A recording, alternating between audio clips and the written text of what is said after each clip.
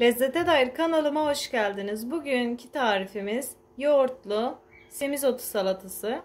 Öncelikle semizotlarımızı bu şekilde kesip güzelce yıkayalım. Yıkayıp suyunu süzdüğüm semizotlarımı iri iri doğrayıp kabıma alıyorum. Çok küçük küçük kesmeyeceğiz. Böyle diri kalmasını istiyorum. Şu sap kısımlarını biraz daha küçük kesebilirsiniz. Hepsini bu şekilde tamamlayalım. 2 su bardağı kadar ev yoğurdu kullanıyoruz ve 4 diş sarımsağımızı rendeleyelim.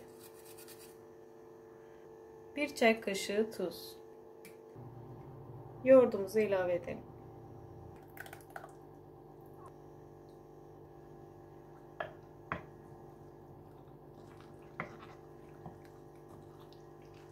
Yavaşça karıştıralım bu şekilde. Salatamızı servis tabağına alalım. Etrafına bu şekilde salatalık ve kırmızı biber ile süslüyorum. Siz de istediğiniz sebzeyle süsleyebilirsiniz.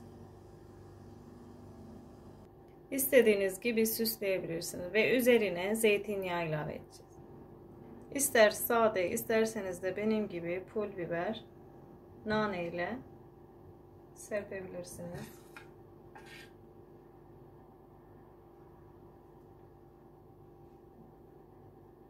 Salatamız servise hazır. Şimdiden deneyeceklere afiyet olsun. Kanalıma hala abone değilseniz abone olun ve bildirimlerinizi açmayı unutmayın. Farklı tariflerde görüşmek üzere.